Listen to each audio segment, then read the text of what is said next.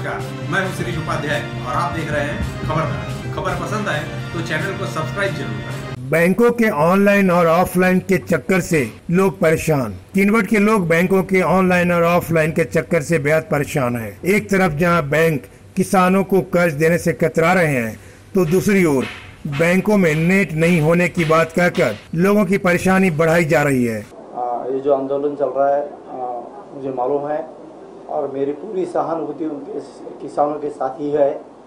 हम हमारी तरफ़ से पूरी पूरी कोशिश कर रहे हैं जी जान लगा के पीछे पड़े हैं कि उनको सभी को कर्ज त्वरित मिले जल्दी से जल्द मिले ये हमारी कोशिश रहेंगी। इसके विरोध में नांदेड़ ज़िले के किनवट और माहौर तहसील में कांग्रेस और एनसीपी की ओर से एक दिवसीय आंदोलन किया गया। किनवट से राशिद फाजलानी खबरदार। देखते रहिए खबरदार। रहिए खबरदार।